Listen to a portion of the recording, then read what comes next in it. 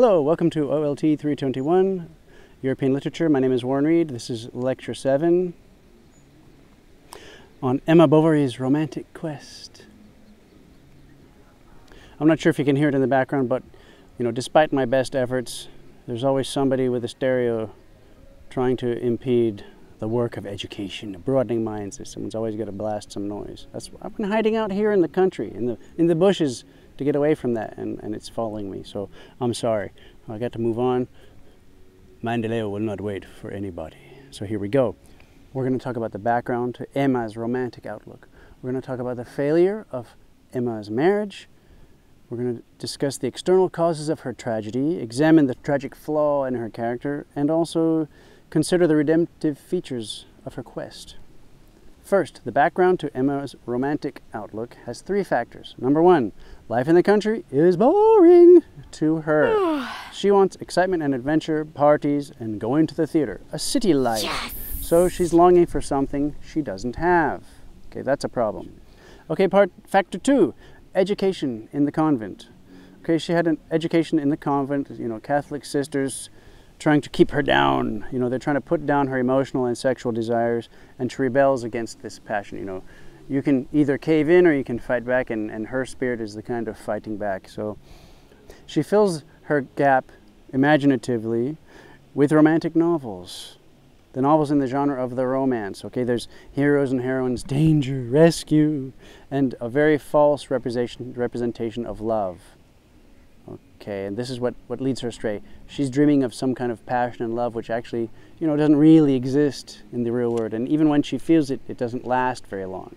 So like the drug addict or the drunkard, she, she's got to have more and more and more to get her, you know, get her mojo going. Can't believe I said mojo in a lecture. Okay, the last factor is uh, she's is her middle class or petit bourgeois background. In this level of society, girls get educated, but they're not allowed to work or do things. You know, they're just supposed to sit around and wait to get married or be married off to somebody. So she's idle. You know, idle hands are the devil's playthings, and she daydreams, from, you know, with ideas from her novels about passion and excitement. Okay, next we're going to talk about the failures of Emma's marriage.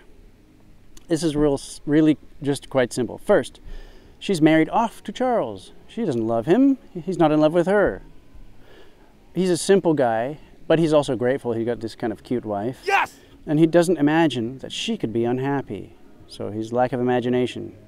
Also, his medical training makes him think that her problems are physiological when in fact they're psychological. She finds him boring and without ambition. You know, she's dreams of an exciting life, but her, her husband wants nothing more than to do his work and come home and, you know, maybe sit by the fire and scratch all evening he's a professional failure in her eyes, and so this is also an embarrassment. You know, she dreamed, you know, at least he could be like a big doctor. You know, he's just kind of a, a, failure, especially he does a surgery that goes wrong and the patient dies. Finally, I would say there's a lack of understanding and a lack of love from both of them. Now we talk about the external causes of her tragedy. First of all, French society is one cause by limiting the opportunities for women, especially women of her class, her status. Second, we've already mentioned, it's her background and her education. As noted, it's worsened by the false portrayal of love and life in those romantic novels. And lastly, it's her lovers, Leon and Rodolphe. Both men take advantage of her, and they have no guilty conscience. They are young bourgeois men just out to have a good time, and they don't consider the consequences in her life of what they are doing. They use her until they are done, or as with Leon, until he, he finds a job where you know, having affairs could kind of look bad on him. So this is another example, this is another criticism of the calculating bourgeois mentality which Flaubert is making in the novel.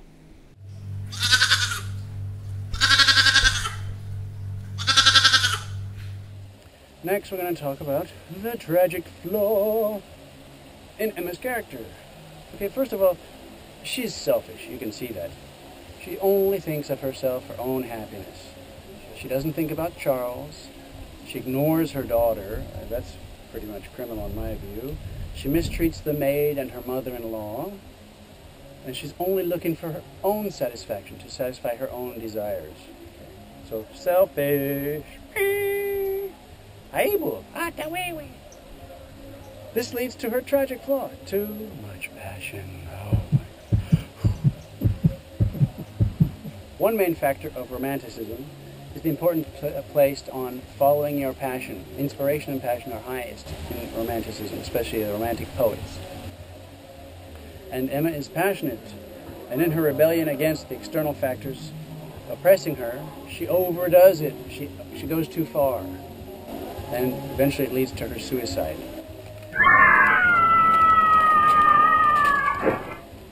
The last topic is the redemptive features of Emma's quest.